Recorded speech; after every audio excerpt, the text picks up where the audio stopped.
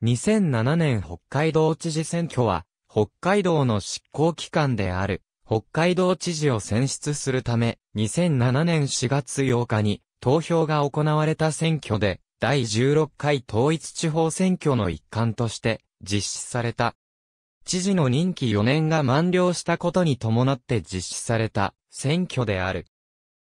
なお、北海道知事の選挙は民選となった1947年以来、一貫して統一地方選挙の日程で実施されている。また北海道は、旧社会党の勢力が強い地域で、1999年の選挙を除き、常に与野党の候補による一騎打ちの選挙戦となっている。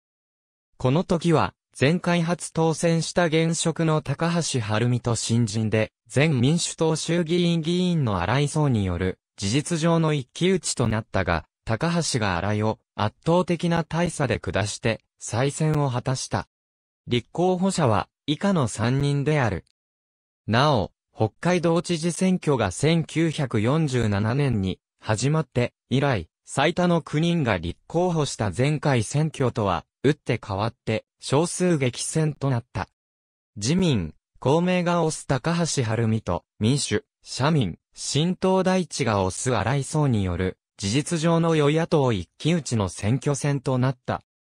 高橋晴美その他現職の高橋が、荒井を75万票余りの大差で引き離して、再選した。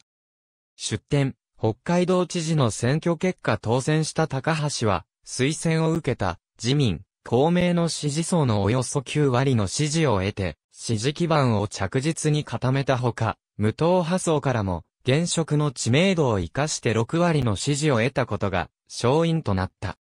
一方、敗北した荒井は、推薦を受けた、民主党や社民党、新党大地の支持層を十分に固めきれなかった上、無党派層からの支持が3割強に止まった。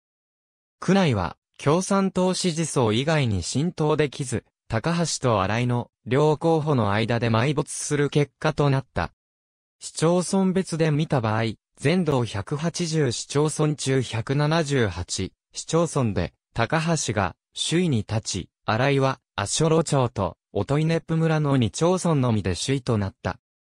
北海道知事選挙選挙当日の有権者数、北海道選挙管理委員会北海道新聞2007年3月23日付一面、同知事選立候補者、祝殺版1147ページ北海道、知事選挙投票結果北海道選挙管理委員会。北海道知事選挙候補者別得票数、北海道選挙管理委員会、高橋氏に無党派6割、北海道新聞2007年4月9日付5面、祝殺版401ページ、高橋市178、180市町村で勝利、北海道新聞2007年4月9日付夕刊2面、祝殺版418ページ。ありがとうございます。